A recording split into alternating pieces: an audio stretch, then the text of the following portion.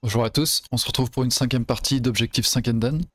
Donc on va jouer Oshi d'abord, on se retrouve contre un 18ème Q. On va jouer deux Oshi. Et je vais afficher les 10 prochains coups.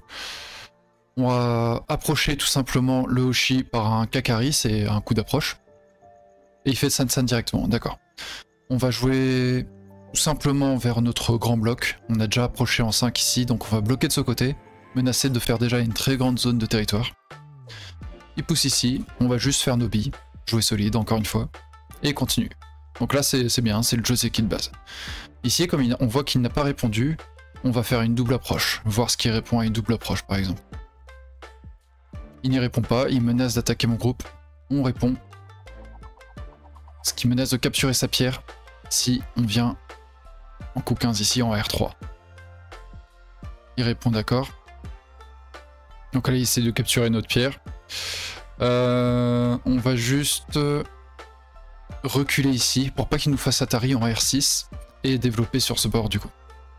Là pareil, il pourrait essayer de nous faire Atari en N4. On devrait capturer en S4, il pourrait refaire Atari après avec P5, je vous laisse vérifier ça sur vos Goban. Et nous on devrait reprendre en R4, donc ça nous ferait un beau pâté. Donc on va juste sortir ici, là où il a envie de jouer. Et il essaie de nous bloquer, d'accord. Donc là, vu comment il attaque euh, mes pierres, je pense que c'est...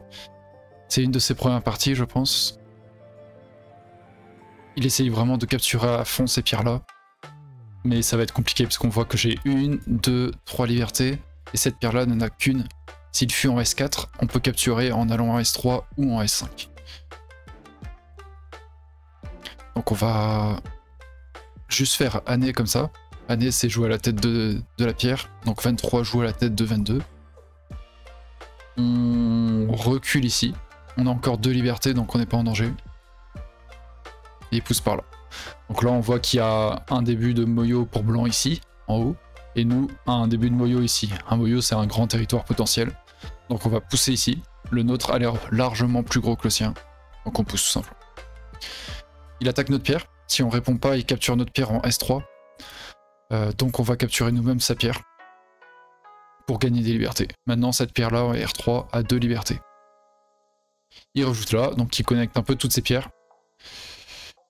Et nous, on va abîmer son potentiel dans le nord. Très bien. Il essaye d'abord euh, de sauver ces pierres-là. On va les attaquer. Dire non, tu ne peux pas sortir. Et après, oui, il aura beaucoup de mal à sortir. Il essaie de séparer 25 et 33. On coupe au milieu. Donc là, on met cette pierre en Atari. Il protège sa coupe ici, là-bas. On va tout simplement approcher de ce côté. Et il tente de sauver ses pierres, d'accord. Hmm. On va capturer celle-ci, déjà. Il nous met Atari, on répond. On ne veut pas se faire capturer 33. Il pousse, on répond. Et il tente de faire un espace ici pour vivre. D'accord. Il faut que je fasse attention également. Euh, s'il sauve sa pierre N6, tout ce groupe-ci de noir pourrait être en danger. Donc on va capturer cette pierre. Juste pas jouer dangereux. On prend pas de risque. Et il pousse là. D'accord. On continue. Et il met Atari, la pierre en 45. Donc on capture O5 pour ne plus être en Atari. Et là ici on voit, que, on voit que tout ce groupe a bel et bien deux yeux ici et ici. Donc on n'aura plus rien à craindre. Il rajoute un coup en 50 pour essayer de vivre ici. On voit que la seule direction de jeu qu'il possède avec ce groupe, c'est vers ce bord. Donc on va bloquer. Et en même temps, nous, ça nous consolide solidement. Euh... D'accord. On va jouer là. Pour empêcher qu'il fasse Atari en K5. On joue ici, on écrase. S'il continue à jouer sur la troisième ligne, il ferait deux points par deux points. Et nous, on ferait une grosse influence. Mais il n'y joue pas. D'accord. On va jouer ici. Il protège son groupe. Mais a priori, son groupe ne va pas vivre. On va juste descendre comme ça.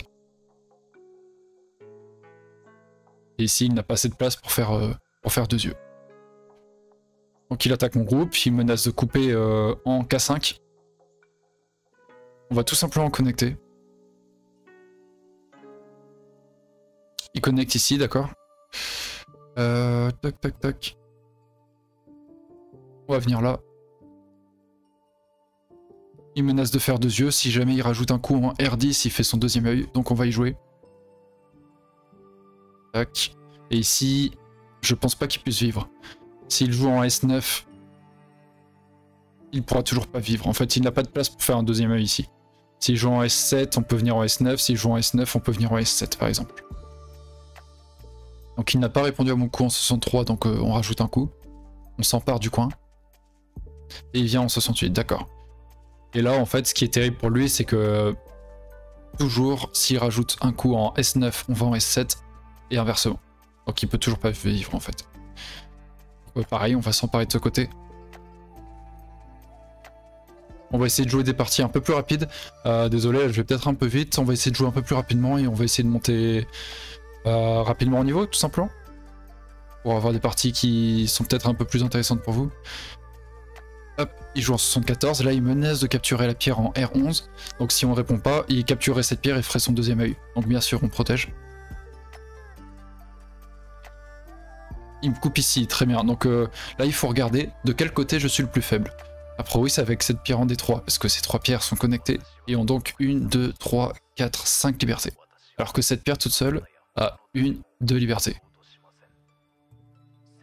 On va jouer vers là où on a le plus d'espace. Il joue de ce côté, d'accord. On bloque, on n'a pas envie qu'il parte. Très bien. On capture la pierre en séparant ces deux formations. On va jouer ici.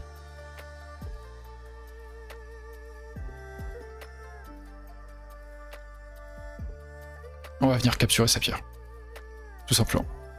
Très bien, on a encore deux libertés, donc on craint rien. On met Atari les deux pierres. Il fuit par là. On lui retire une liberté. Attention, ces quatre pierres n'ont plus que deux libertés. Il nous pousse ici, on pourrait capturer, mais on craint rien de ce côté, donc on va plutôt sortir pour aggraver la situation de ces quatre pierres. Et là on voit, je mets en Atari les 5 pierres. Et même s'il répond à l'Atari, la capture est là. Donc on va capturer pour lui faire comprendre qu'ici c'est fini pour lui. Et il joue à l'intérieur. Euh, tac. On va s'emparer de ce coin. On empêche la connexion ici. Et il vient de ce côté, d'accord. Euh, on va jouer un dernier coup par là pour euh, empêcher toute invasion. Et ici on voit qu'on a plus que deux libertés, on va d'abord attaquer du coup. Et il essaie de sauver cette pierre, d'accord.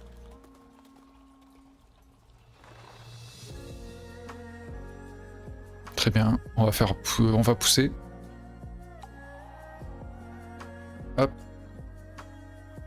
Et il a abandonné. Très bien. Voilà. Alors, euh, si vous avez apprécié les vidéos, n'hésitez pas à aimer et à vous abonner à la chaîne.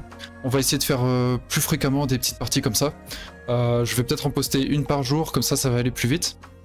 N'hésitez pas à me dire si ça vous convient. Comme ça on va monter un peu plus rapidement au niveau. Voilà. Sur ce, je vous dis à demain alors. Allez, salut